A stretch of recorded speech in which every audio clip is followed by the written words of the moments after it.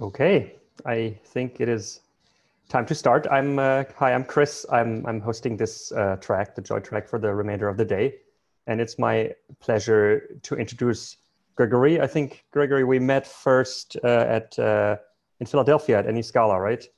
And yeah, that's uh, that's correct. And you told me about uh, your interest in geographic information systems, and you also have a very interesting blog posts about like sensors on satellites on, on your on your blog, which I found very nice.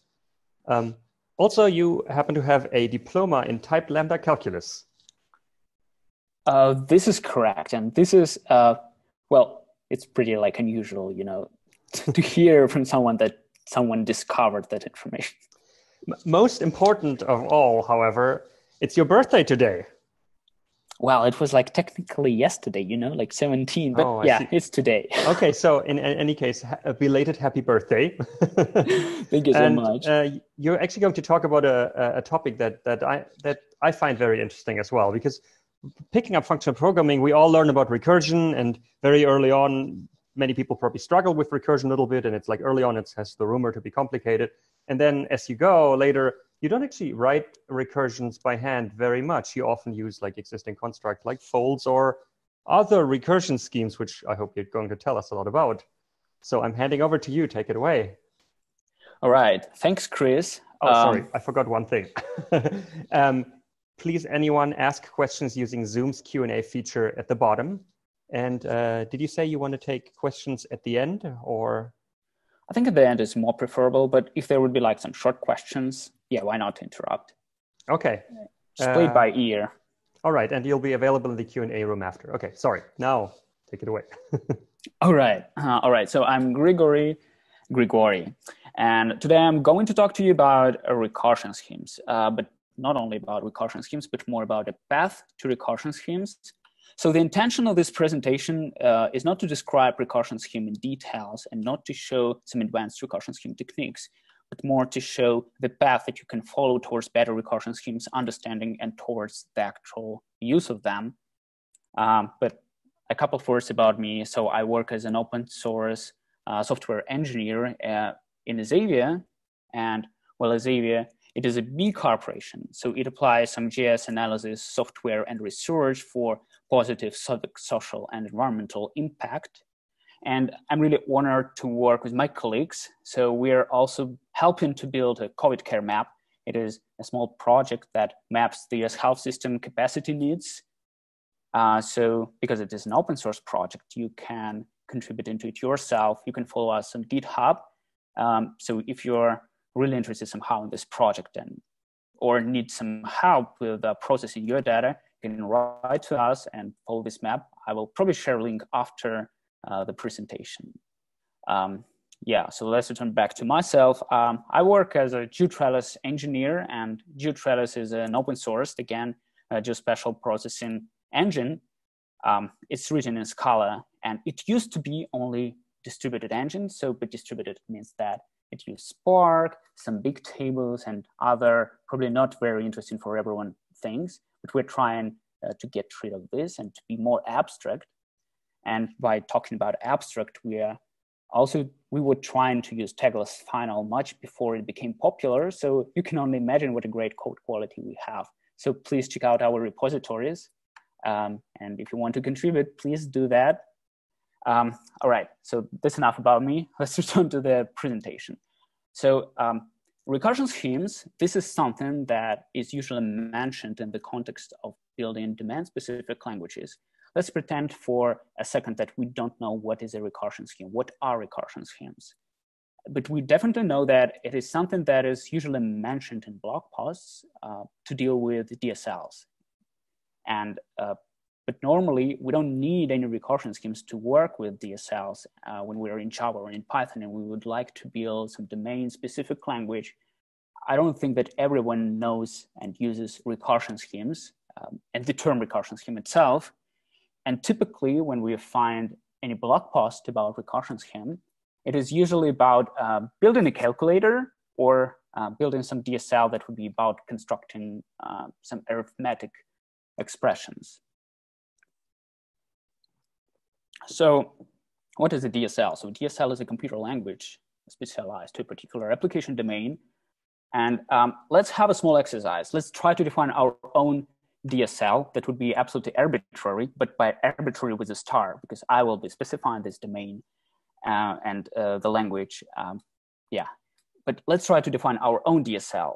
Let's try to define it without recursion schemes. And let's find this point of recursion scheme applications, at what point we would like to use them and why we don't need them normally. Uh, so, um, so because I'm a geospatial engineer, I would like to introduce you some different from a calculator domain that is a geospatial domain, and we will talk about rasters. And rasters are usually um, delivered, hold on, um, delivered as some raster, as, as some scenes from satellites, and they delivered in various formats, uh, in different shapes, uh, if you if we may say so. For instance, this is um, an example of an open source um, storage of Landsat imagery. So Landsat 8 is just a satellite that takes pictures of an Earth and it delivers data in these various formats and in different uh, various uh, shapes. For instance, in this case, we see that all bands are delivered separately in some format that is called TIFF. They're around 60 or 70 megabytes. So just imagine to build up an RGB raster, you will have to compose at least three bands and it will be around 200 megabytes. And just to give you the sense of how large these rasters are, this is like, you know, a Yosemite Landsat um, scene that goes from Santa Cruz to almost Sacramento and shows something. So it's like a really huge piece of data. And as you may have guessed, this data is usually unnormalized and it's very hard to work with such, um, well, comparatively large pieces of data. Uh, but I said specifically that it is a data delivered by Landsat satellite. If you don't know what is Landsat, it's just like some random satellite. But there are any uh, there are lots of other satellites, for instance, MODIS. It also delivers um, data that is gridded differently, and it delivers it in this. You see, um, these are not rectangles. This is something different. And these uh, scenes, they cover even larger areas and it cover, covers like a third or fourth part of a continent here. And it's like, you see something really huge and large. So a part of delivering this Landsat imagery, it comes not only with raster data, some pictures with, that we can visualize, it also comes with something that is called extent or bounding box coordinates. So that's how we can figure out uh, where on a map to put um, our scene or satellite or whatever. So why I'm talking about that? Because this is like a large chunk of a large, large piece of data. So um, if we were to turn back to our Landsat, uh, Landsat tile or Landsat scene, um, so how to work with that? Usually geospatial engineers work with that by chunking it and splitting it into some other grid rather than from the grid that is um, rather than through the satellite grid.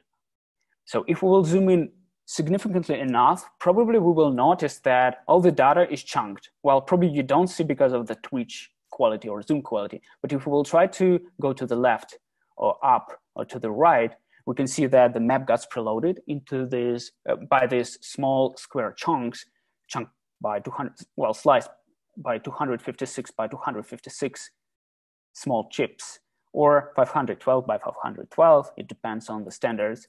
So this thing that we see here, it's used in all uh, map viewers, like in Google Maps or Mapbox. And this small chip is usually called a tile.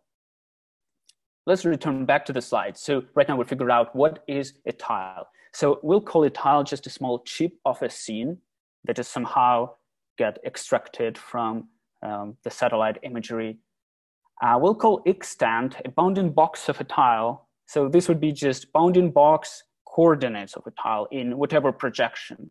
So if you have a question, what is projection? I will be happy to answer about it later, but let's say that we know what is projection. So this is like extent, bounding box delivered in lat longs.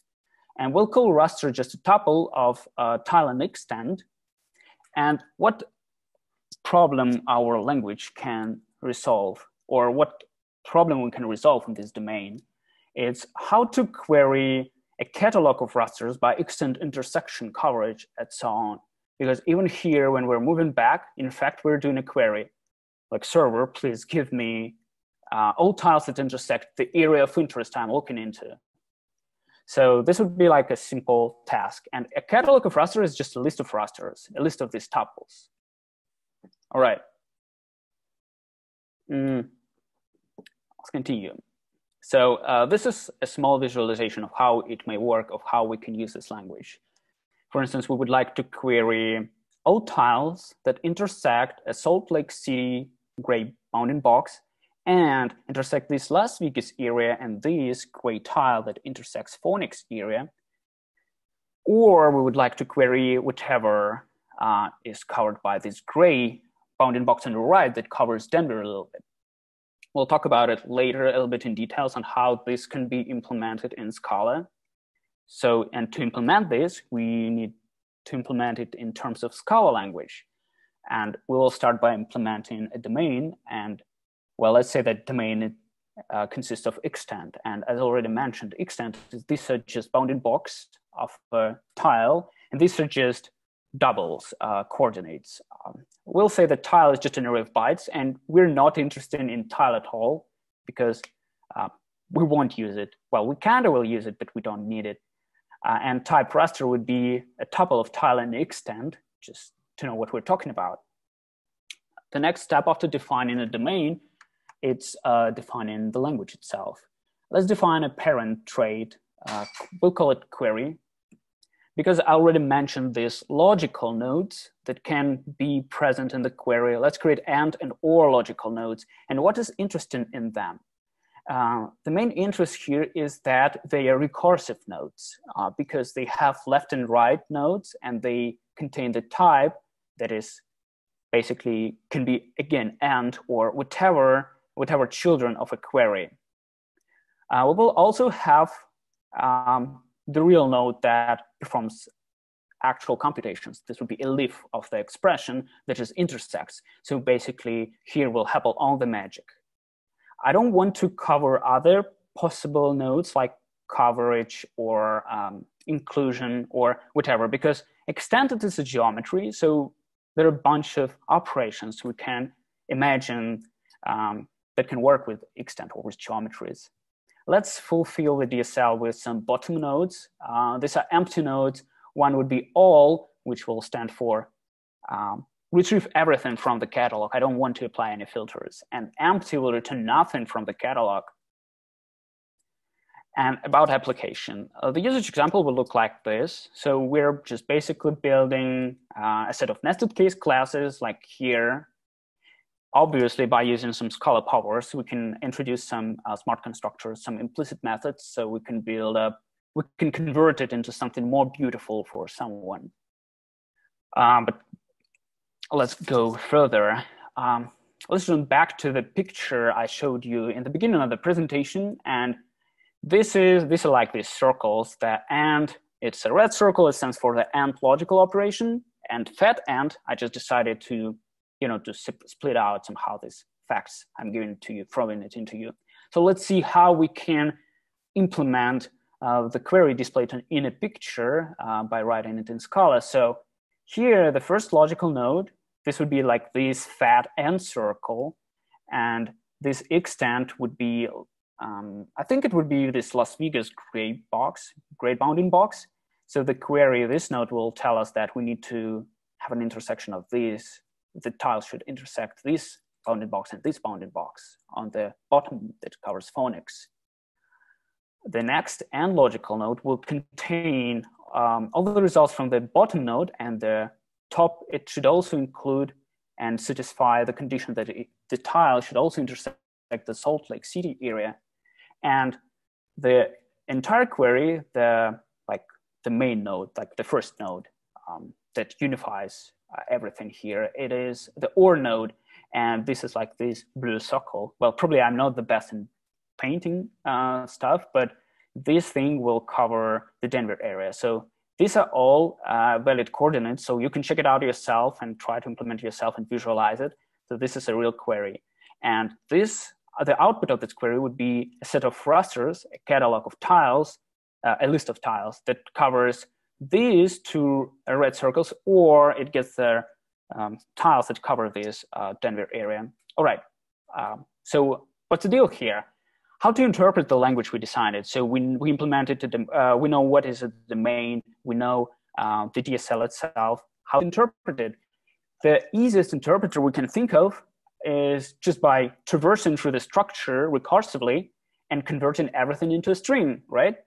Um, and by going deeper, so how it works, how this function works. For instance, we start a node with an AND expression. It will find a node AND, pattern match matching that, and we'll say, all right, I want to go deeper, and it will apply the evaluation function onto the next step of an expression. That's how it works. And we'll go down until it will find some node that cannot go deeper. It will find leaf. In our case, this would be intersect, all, and empty.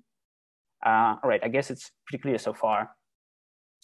Um, but the original task was not to print a string from a query, but it was more about how to filter the catalog of input rasters. So this query can be interpreted into a function and the result of the query evaluation can be a filter function that just knows how to filter the input list of rasters. It works basically the same way. It finds the first logical node, the first recursive node, as I want, I'd like to tell it, to call it this way here. And it will try to go deeper and will try to apply the same evaluation function to all the children nodes. And actually, in the intersection area, the real computation happens. It just filters the input list of rasters by the extent, by intersection, whatever this function means. All definitely returns an identity, so it just means that it's no op. Will return whatever was in the catalog, and empty always returns nil. All right. Um, hope we're in a good shape still. So what do we have common in these two language interpreters? Because you may had a question. Uh, why, uh, why try, during trying to resolve the problem of uh, filtering the list, I decided to implement uh, a string evaluator that converts a query into a string. The similarity. So these two functions, uh, the common thing that they have this is self-references. They're recursive. And these two functions look very, very, very similar, uh, right? And when there is similarity in functional world or in any math world, we can think of generalization. Let's pretend that um, a function uh, exists with uh, such type signature that it can accept as an argument some function that knows how to evaluate each node of an expression tree and as a second argument, it accepts the entire tree. So this function should know just how to traverse uh, through the tree and how to apply f to all the node, how to evaluate each node. This sounds very much like a description of a fold right. And basically this is like a spoiler because like I prepared this presentation. So I was going to tell you that it is a fold right. So yes, so this sounds very much like a fold right. We would like to fold a query using some function that knows how to fold each node. So, but because it's a fold function, it knows how to traverse through the expression tree. So it turned out that generalized functions to traverse through nested structures are called recursion schemes. And that is all. This is the, all, the whole mystery. So the whole idea of the recursion schemes was to factor recursion out. It was to abstract all the recursion. And uh, so you don't need to implement the same evaluation function every time. So why is that so? Because probably you may want to traverse through your structure more than using a single function. There is no, not a single eval function exists. You can traverse through the structure in various ways um, using like a bunch of methods, in a bunch of ways you want. So because we need to factor recursion out, um, let's start with factoring recursion out from the DSL. Uh, and here, what we can do with that is to introduce a type parameter. Right, um, sounds not very good. But by introducing type parameter, we are kind of saying to the compiler that, hey, our nodes are not recursive anymore. This is technically type parameter that can mean everything. And we don't have explicit self-references. Uh, let's live with it for now as it is. So let's pretend that it is totally fine but I would say that because for us, it means that everything can be in this A type parameter. For the compiler, it means absolutely the same. It feels that it can put whatever, because user can put whatever he wants here, she wants here. Um, that's uh, that can be confusing a little bit. Let's try to use this um, query, let's DSL that we've implemented. And from the first look, it is obviously similar and absolutely similar to what we have on the left. Like uh, the language looks very similar. So what's the deal here? What's the problem? Let's try to implement something different because before I was always showing you the same query, but what if we will have lots of queries? They can be different. Like this is like the first example of a query. This one is a primitive intersex query. So what happened here? By introducing a type parameter, we also introduced obviously complexity into our code base. We also made it hard for the compiler to work with these types. So it turned out that type of expressions depends on the tree shape, on the nodes that we put into the tree. And if we look into the left here, it does not matter how many uh, tree, uh, how many nodes we'll put into the tree, what other nodes would be. It always can derive the type. But here, because we kind of were trying to be smart, we kind of spoiled everything. So what to do with that? Uh, I already told you that we introduced some extra complexity and this type parameter for us means everything. It turned out that it is not. So here comes a fixed point type. I made this slide intentionally look very ugly so you can't parse it. But the fixed point type, the fixed point type can help us to fix the types of our expressions. So fixed point of a function f is just such x that f in this x equals to x. We can bring absolutely the same up to the type level. So I won't read it again because it would be absolutely the same. Um, but and we will call the fix just a function that computes a fixed point for the input f. So the rule that fix of f equals to f of fix will work. All right, so you may probably have a question, how does that help us and how to work with this? Um, I still don't have an answer for you, but let's try to implement it somehow straightforward in Scala terms. Let's define a case class that will look this way. So what can we tell about the fixed case class at this point? Uh, those people who know, uh, they can probably tell us that, well, fix will be the notion that it is a recursion, and they will be right. So how would fixed point type work if we will define it this naive way?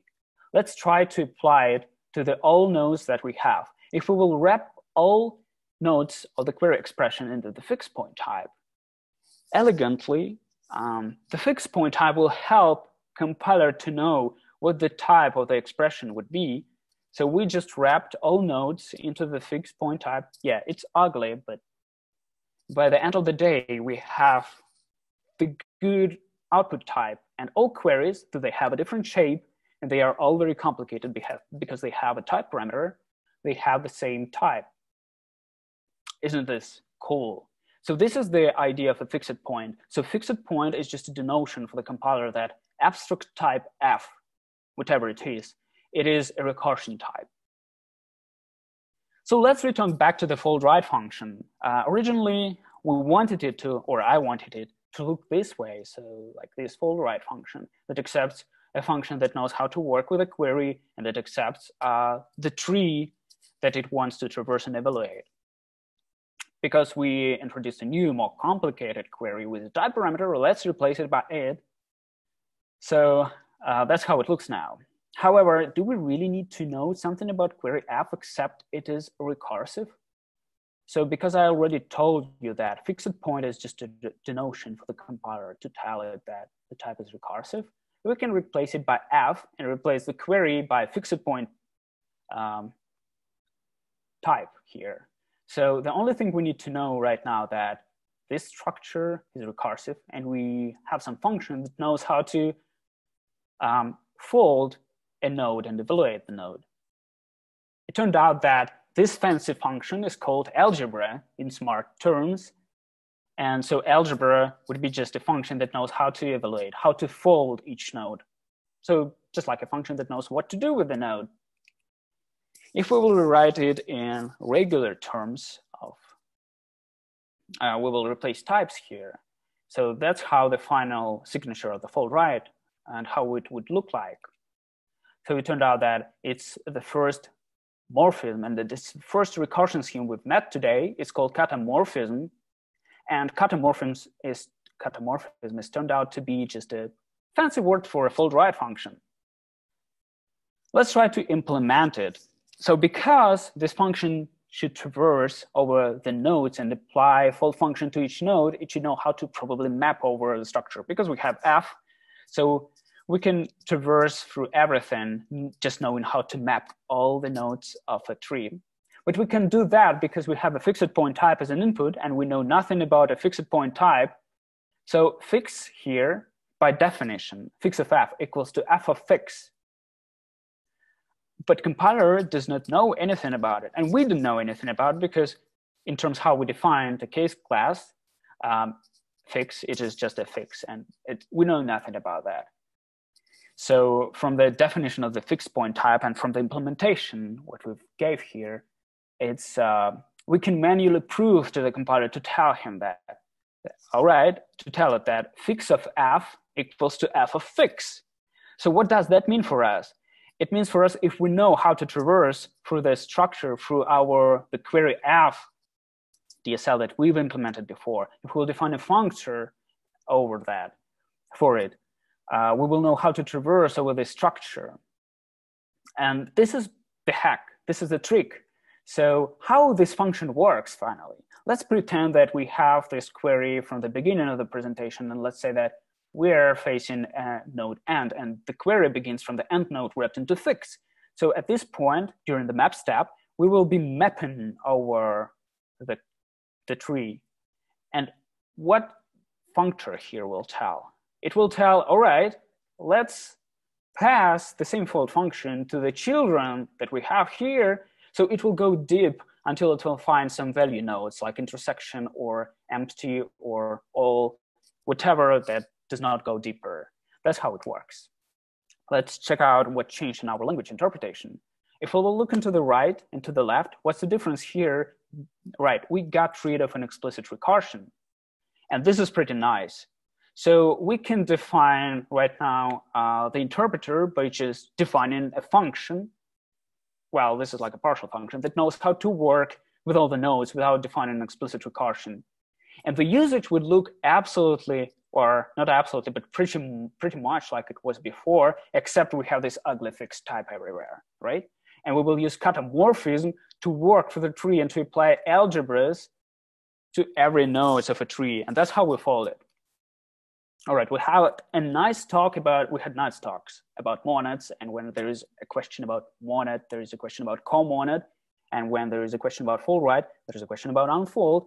We made an overcomplicated fold right called catamorphism, but how to build up a structure that is wrapped into some fix, whatever it is.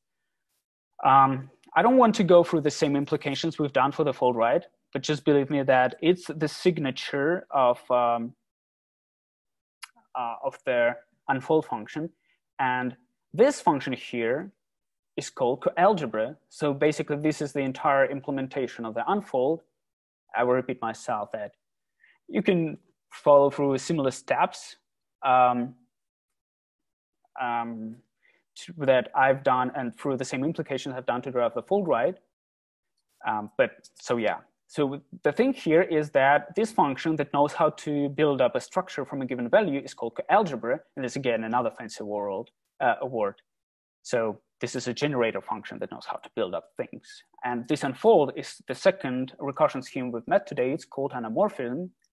And that is basically all. So just folds and unfolds in the recursion scheme world, they exist together. They call by smart things and smart uh, words. Um, um, that is probably a little bit scary. So let's continue. How to use all this stuff?